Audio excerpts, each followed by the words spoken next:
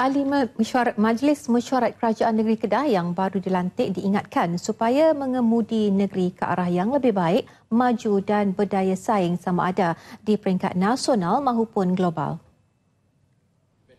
Sultan Kedah Sultan Salahuddin Sultan Badli Shah bertitah jawatan yang disandang bukan suatu keistimewaan sebaliknya satu amanah dan tanggungjawab yang amat besar untuk dipikul dengan penuh rasa syukur, ikhlas, berintegriti dan amanah. Saya ingin berpesan kepada ahli-ahli yang berhormat sekalian agar dapat mem memupukkan sepenuh perhatian untuk berkhidmat kepada rakyat. Kita tidak mahu lihat di kalangan ahli yang berhormat bersikap mementingkan diri sendiri sehingga kepentingan rakyat diabaikan. Layanlah rakyat dengan penuh berhemah. Tapi bijaksana, buktikan bahawa rakyat telah membuat pilihan yang tepat.